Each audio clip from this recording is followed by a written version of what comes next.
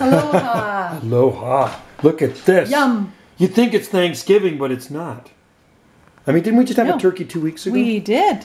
So there's another turkey. We're, yeah, we're saying a uh, Canadian Thanksgiving. Well, this is our second one. Well, this is actually our third. Well, turkey. Canadian Thanksgiving's actually uh, beginning of October. Pretty cool, palm, palm trees. trees. So anyway, what you got there is um, potatoes, mashed potatoes loaded up with Portuguese organic garlic, grown here on Salt Spring.